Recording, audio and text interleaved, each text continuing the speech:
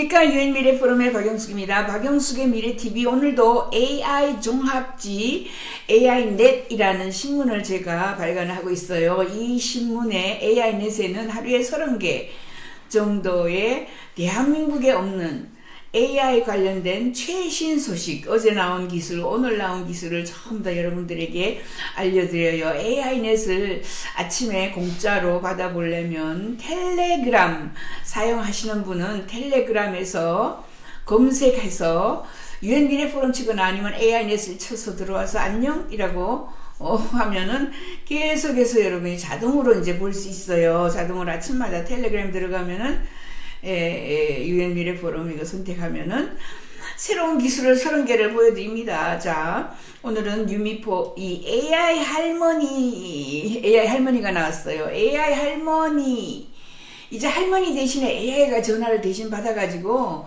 보이스피싱 사기꾼들의 전화를 진짜 할머니가 받는 것처럼 인간과 유사한 목소리로 전화를 다 받아서 낼수 있으면 오랫동안 그죠 고객하고 전화 통화를 지속해 가지고 이 사람이 추적이 가능하도록 그렇게 만드는 거예요.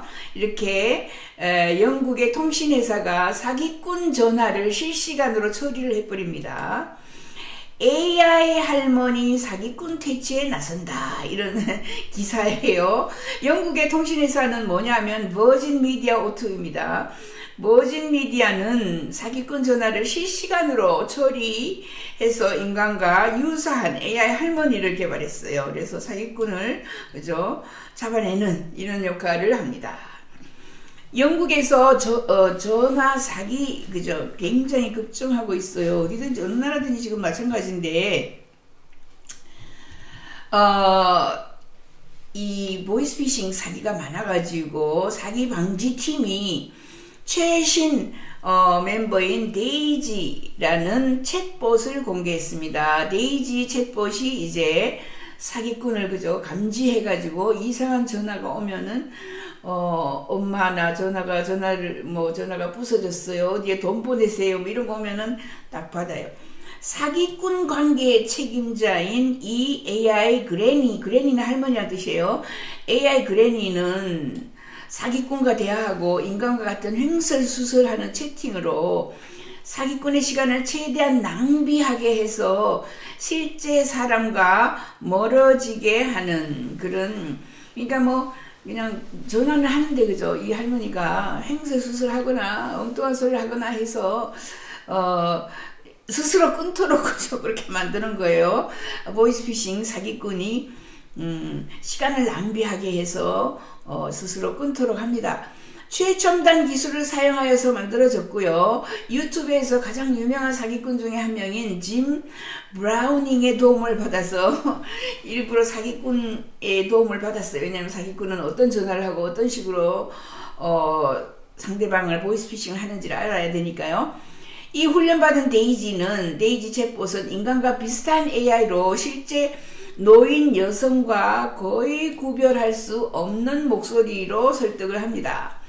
제작자의 입력 없이 실시간으로 제작자가 뭐 이렇게 이게 다 팔아 이런 거 뭐 전혀 상관없이 지가 알아가지고 AI 지가 막 대답을 하는 거예요. 버진 미디어 오투는 데이지를 24시간 의심스러운 전화는 전부 응답하게 했어요. 데이지는 언어 모델을 고급 음성 인식 합성 기술을 결합해서 사기성 전화를 즉시 듣고 대응할 수 있으며 능력이 매우 뛰어나 한 번에 최대 40분 동안 사기꾼 전화를 어 그죠 계속해서 받아가지고 사기꾼이 두 번 다시 전화 못하게 계속 토킹을 해서 사기꾼이 포기하도록 그 지치도록 만들었어요. 버진 미디어 오투의 새로운 연구에 따르면 10명 중 7명 71% 영국 소비자가 자신이 사랑하는 사람이라고 속이고 그죠 이, 이 사랑하는 사람이다 또는 아들 엄마 또는 아빠 뭐 이런 식으로 전화하는 거예요. 나 사고가 났는데 돈 좀 비춰 뭐 이런 식으로 이 사기꾼을 그죠 어, 사기를 당한 사람들은 다 보복을 하고 싶어 해요. 그러나 대중이 사기꾼을 스스로 믿기로 이용하려 하지 않는 큰 이유는 자신이 시간 낭비를 하고 싶지 않다는 것입니다. 그렇죠? 사기꾼을 길게 길게 전화를 해서 이게 추적이 가능하도록 하려면 너무 귀찮잖아요. 그러니까 AI가 대신해 주는 거예요. 영국인의 3분의 2, 67%는 이제 사기의 표적이 되는 것을 우려하며 다섯 명 중에 한 명은 매주 사기를 당하고 있, 사기 시도를 당하고 있다. 누군가는 보이스피싱 하는 거예요. 작년만 해도 Virgin Media O2는 2억 5천만 파운드 이상의 의심되는 사기 거래를 예, 차단했어요. 어, 이는 2분에 한 건씩 나타납니다. 2분에 하나씩 나타나요. 한 건씩. 국제 사기 인식 주간이 있어요. 데이지는 이제 좌절한 사기꾼에게 가족에 대한 행세 수술을 늘어놓았고 뜨개질에 대한 열정에 대해서 길게 길게 얘기하는 거예요. AI가. 어, 사기꾼이 사기를 치려고 하는데 이 뜨개질이 어떻고 저 뜨개질은 어떻게 하며 뜨개질을 이렇게 해야 되고 엉뚱한 소리를 하니까 사기꾼이 보이스피싱이 그죠 짜증을 내면서 끊어요. 짜증난 전화자들에게 가짜 은행 기조를 포함해서 허위 개인 정보도 제공합니다. 그래서 자꾸 끝내 이 보이스피싱이 그죠? 은행 계좌 정보를 알려달라. 구자가 몇 번이냐 무슨 은행이냐 물으면 가짜로 가르쳐줘요 AI가. 그리고 개인 정보도 가짜로 가르쳐줘요. 그래서 거기 시도하면 다다다 잡는 거예요.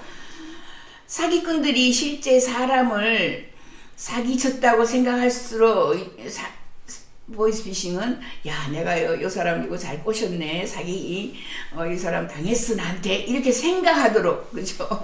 AI가 생각하도록 만들고 노인에 대한 사기꾼의 편견을 이용해서 사기꾼들이 실제 피해자들을 표적으로 삼는 것을 지금 다 막았어요.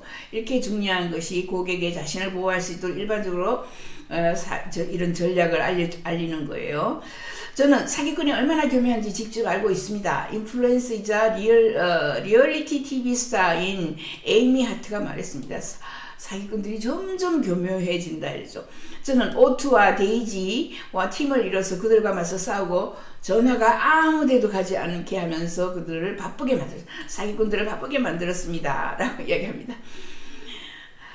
어, 사기꾼들이 암호에서 은행 계좌 정보까지 모든 것을 훔치기 위해서 얼마나 오랫동안 그죠 노력을 하는지 정말 무섭습니다.